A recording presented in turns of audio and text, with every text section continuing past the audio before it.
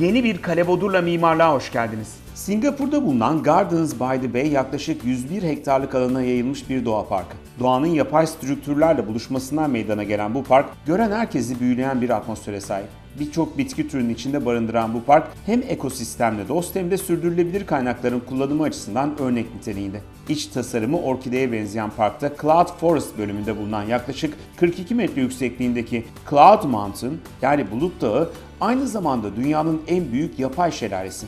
Parkta en çok dikkat çeken şey ise şüphesiz yapay ağaçlar. 18 adetten oluşan 50 metre yüksekliğindeki yapay ağaçlar yürüme parkuruna da sahip. Park tüm bu özellikleriyle her yaştan insanı cezbeden bir alan olmayı başarmış.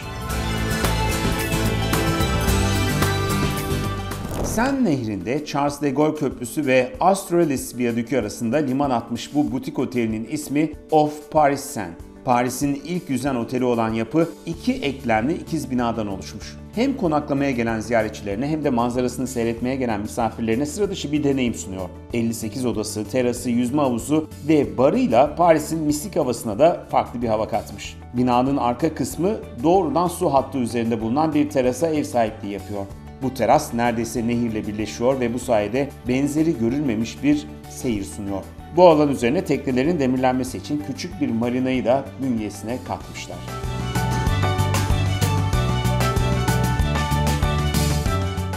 Zav Architects, İranlı yetim kızları özel bir yapı tasarladı. Yapının balkonlarına tasarlanan ayarlanabilir örtü tasarımıyla kızlar içerisinde başörtüsünü takmadan özgürce dolaşabilme imkan sunuyor. Yaşam alanı 7 yaşından 16 yaşına kadar olan ailesi olmayan kız çocuklarının rahatlıkla oynayabileceği ve barınabileceği güvenli bir yer. Ayrıca balkondaki ayarlanabilir örtülü tasarımı dini bayramlarda veya özel günlerde değiştirilip farklı renklerde de kullanılabiliyor. 2018 AR House ödülünün sahibi olan proje, İran'daki yasalardan dolayı başörtü takmak zorunda kalan kızlara rahat edebilecekleri bir mekan sunmak amacıyla tasarlanmış.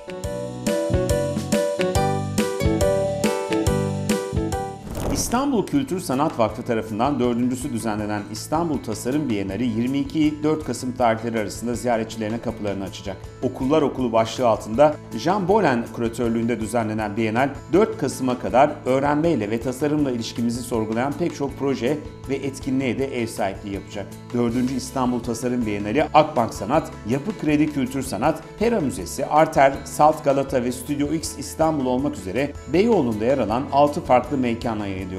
Sergilerin yanı sıra birçok etkinliğe de ev sahipliği yapan bu mekanlarda mimari, biyoloji, sosyoloji, gastronomi, pedagoji, ekoloji, teknoloji ve ekonomi gibi pek çok farklı alandan 6 kıtadan 200'ün üzerinde katılımcının sergi ve projeleri yer alacak. 4. İstanbul Tasarım Bienali bu yılda ücretsiz gezilebiliyor.